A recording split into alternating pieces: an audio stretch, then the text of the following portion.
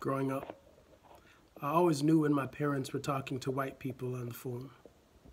It was in their tone, how they switched it up to sound less like themselves and more acceptable.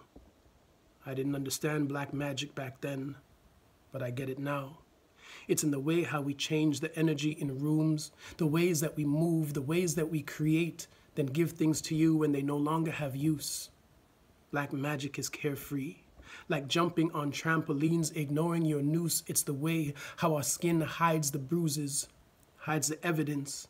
It's the way the sun bows to our melanin with reverence. It's standing up and demanding to be seen when the world treats you as irrelevant. It is knowing how to go numb for self preservation, how to hold your tongue when the man being killed reminds you of your brother your husband, your son, black magic, is knowing funeral hymns by their name and number. Hearing them so many times, you have every line memorized. It's going to work heartbroken, but still being expected to be full of life, to co sign what's hip while hiding the chips on your shoulders. It's wanting to break, but knowing how many worlds your love holds together.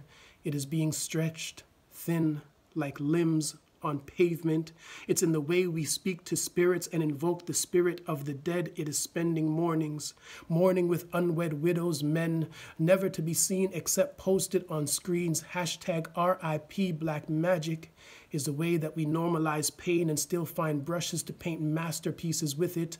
Our ability to hope, to love, to fight, to forgive. It is in our will to live, not just exist, despite those who'd like to see us extinct. It is thick skin, thick lips, thickness, milkshakes that bring boys to the yard, lactose intolerant or not. It is voodoo in ebonics, hood economics. It's the unicorn found in a black man's tears. It's a black woman fighting for freedom against fear. It's black kids loving the feeling of their hair and no, you can't touch it.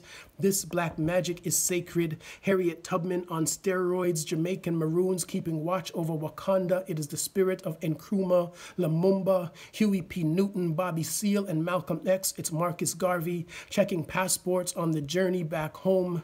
It's ancestors haunting oceans, strange fruit that pesticides can't kill. It's the secret sauce at the cookout with no recipe written down. It is the music in our steps, the choreography in our speech. It is the beauty we possess that hatred could never bleach. We are the definers of pop culture and we feed it to you like addicts. We might give you a little taste, but you will never have black magic.